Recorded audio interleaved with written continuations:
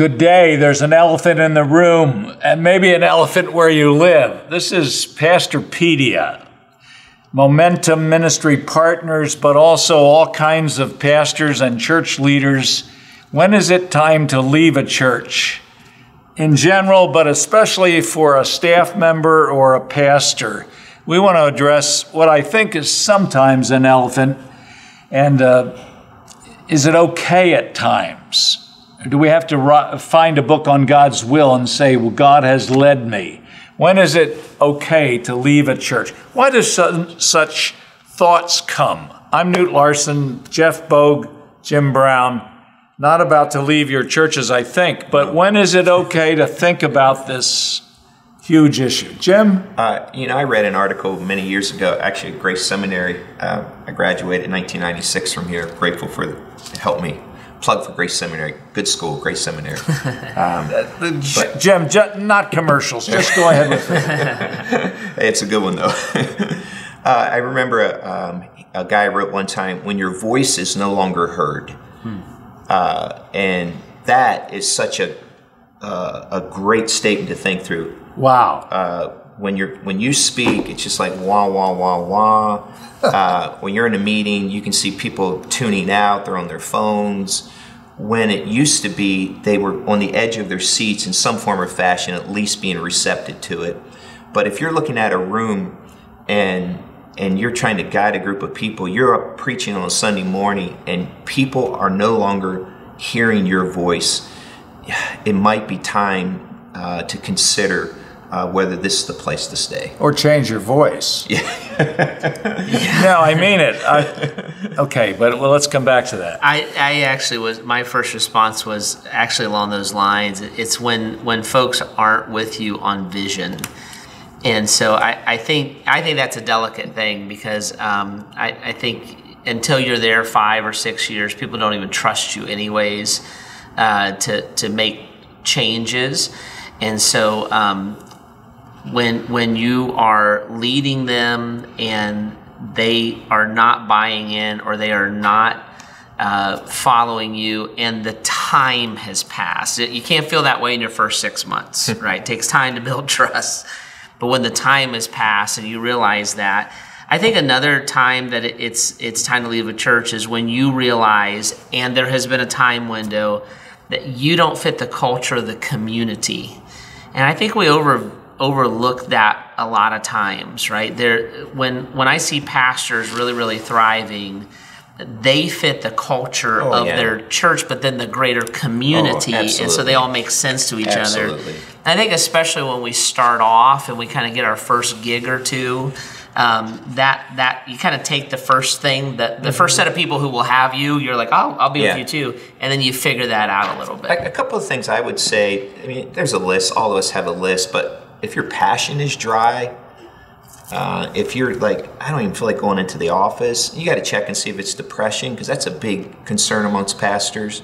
But if you don't have the get up and go to get up and go anymore for that group of people or that you, you might want to consider that. I would say if your church has been stalled for a long time and um, moving forward, taking the gospel to the community and even I would say if there isn't aren't indicators of new life, that would be a, an indicator. And I, and then another thing I, I, I would say, if your inner group, those you really trust, um, that keep you accountable, would agree it might be time to consider moving on. And right. lastly, I would say, listen to your wife. Um, I, I think we underestimate the value of oneness in a marriage and uh, my wife is in tune with the Spirit of God, and so I I go to her for insight. If your wife doesn't even want to come anymore, it would be a crucial issue. It, it really is. It is. It is. And if you don't want to invite your next door neighbor, not because you're going to have a bad sermon, but because there's a culture there that you don't even want them to see, yep. that would be crucial. Why is it so hard to do, uh, practically and theologically? Why is it so hard? To move. Part of it is God's will. Let me answer my own question too. Uh, in our culture, Christianity, sometimes we have to say, well, God has led me. And maybe He leads us through some of these ways. Children, you have children in Yeah. school. You're caring for them. They're it's challenging to to process picking them up, moving across the country, moving to another city. There's a family. You know, uh, if you would look at my business card, it says husband, father, pastor. And I really, tr- I've said this on many occasions, Knute and Jeff, and you've heard me say this, but if I failed as a husband and I failed as a, a father, then I failed as a pastor.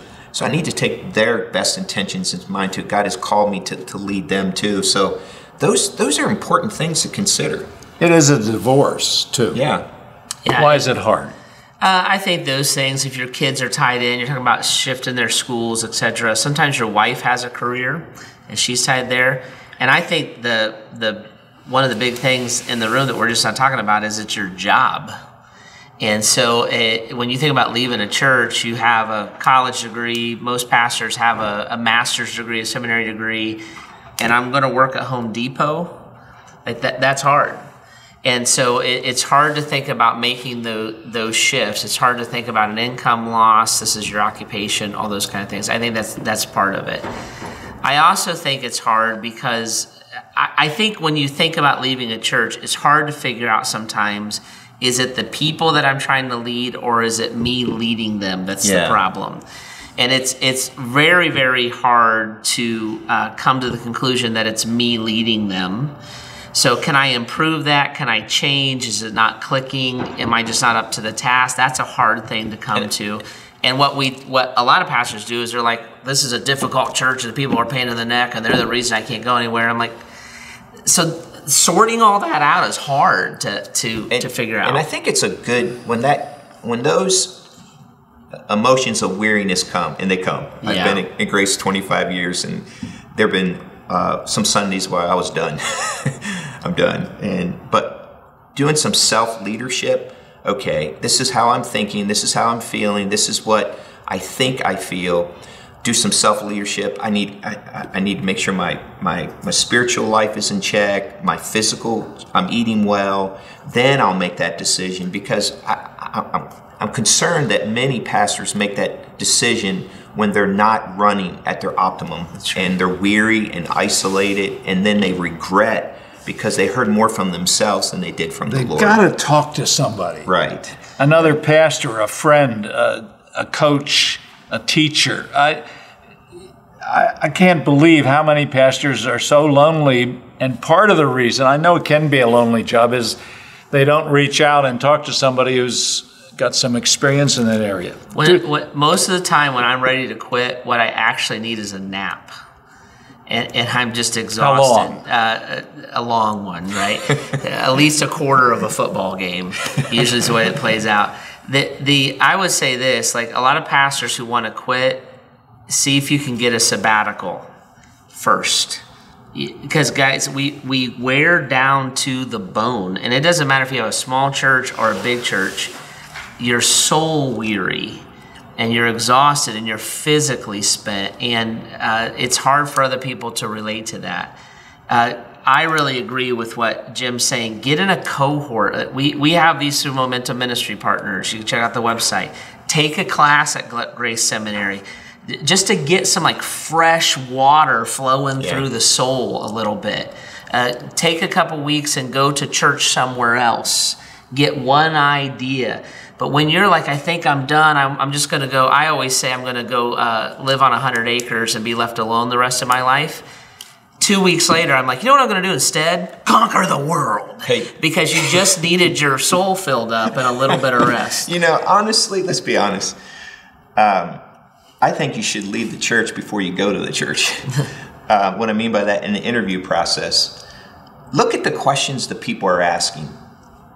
That's one thing I had a wise mentor, Ken Bickle, told me one time. He says, Jim, before you go there, when they're asking the questions about you coming, that's the things this church is most passionate about. And then you have to answer the question Am I passionate as much about those things? Hmm. Am I a good fit for those things? And so I actually went back and listened to the interview. That was 25 years ago, and when I first went there, and I, one guy was in- interested in this ministry and the other pastor didn't do this and this is who we are.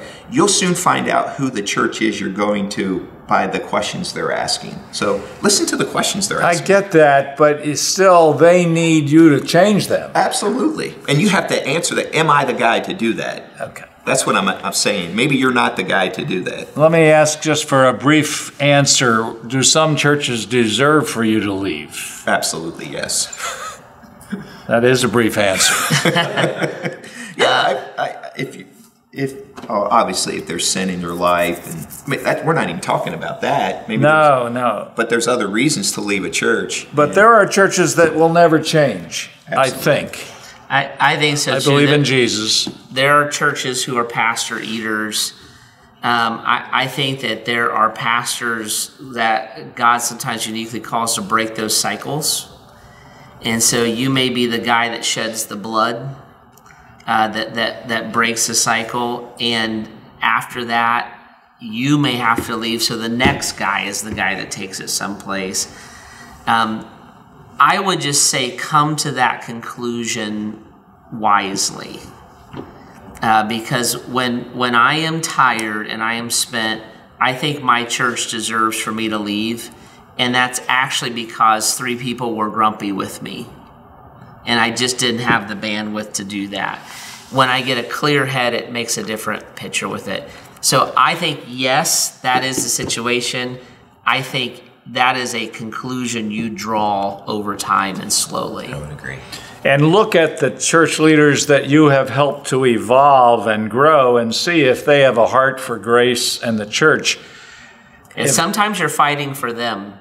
You're you're not fighting for the church. You're fighting for those seven or eight or ten people that actually committed to you.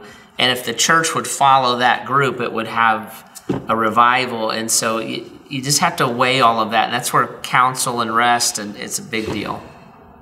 Well, this is a tough subject, and we don't think we have all the answers. In fact, none of us have been very good at leaving a church. and I say that with thanks to the church and the people and to God. And maybe that's true in your life, but if, if we can help in this area, we'd love to let us know. We're thinking about one of the toughest things about the divorce of a pastor in a church, but this divorce is not illegitimate. There are times we hope your grace and your love for the people is growing. We'd love to help if we could. We hope you'll think about this related to Jesus Christ and how he walks with you in combination. I'm with Jeff and Jim. I'm Knute, and we thank you very much for your interest.